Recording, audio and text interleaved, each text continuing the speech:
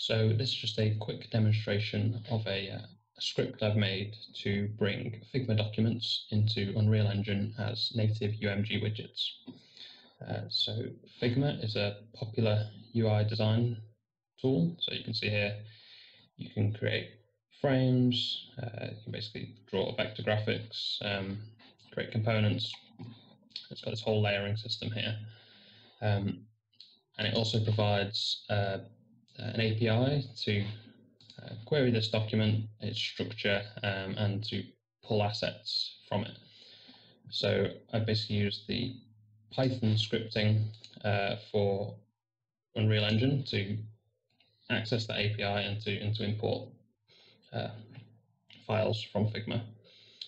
Um, one thing to note is that uh, the API requires uh, the requests module for Python. Um, so this isn't natively installed in the uh, the Unreal uh, installation of Python. So you have to specifically go into the Unreal installation of Python and add uh, the requests module uh, for this to work.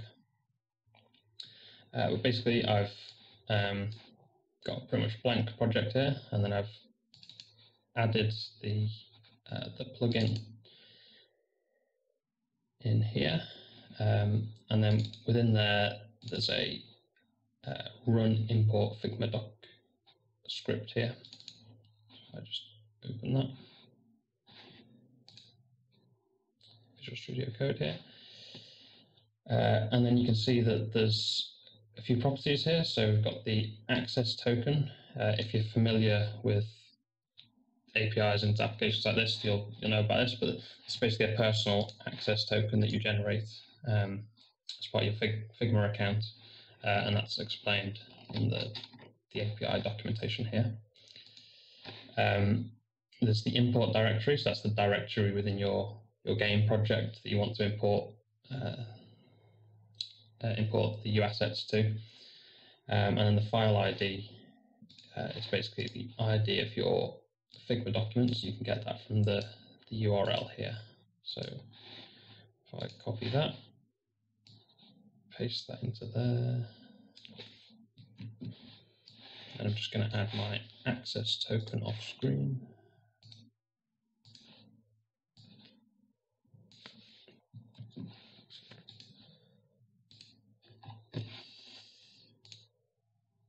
And then we can open the Unreal project. Uh, this is uh, an Unreal 5 uh, plugin. Uh, I don't think there's any reason it shouldn't work on earlier versions, but I've just built it for Unreal 5.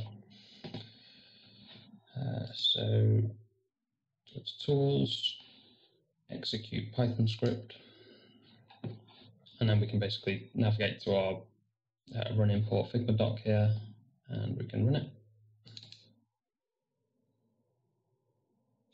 And it should bring up this loading bar here.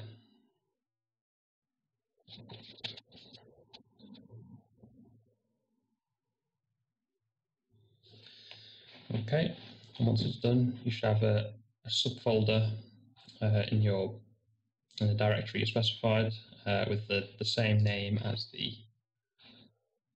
uh, the Figma document name.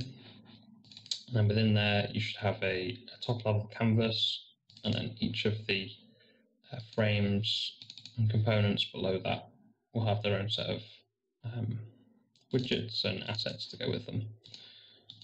Um, I think there's a, a, bug with Unreal Engine um, since 427, I think, uh, whereby if you open this, you can see that all of these uh, reference widgets uh, are just blank. They, haven't they don't reflect uh, any of the updates that we've made to them.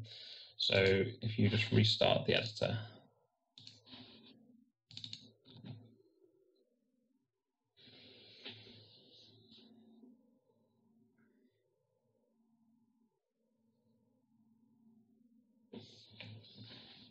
Uh, and then we open that up again. You can see here now that this should reflect our document and then So each of these is sort of modularized in the same way as the original project. So we've got we've got uh, our three top level frames, and then we can go in and edit one of those frames, and that's got frames associated with it. Um, these here are well, this is the top level component, and then we've got instances of that component. So you can see these are all referencing this frame core component. We can go in and edit these uh, and add uh, functionality to them. Uh, if we just turn the thing off on this one, see we've got the full canvas here. Um, and the idea of this is not to, you know, have a, a, usable UI at the end of this. It's just to simplify the process of, of bringing in all those assets and, and laying out. Um, there'll be some tweaking and fine tuning you'll do in here, but you've basically got the, the skeleton structure you need um, in order for you to start to add your functionality. Uh, and that's about it.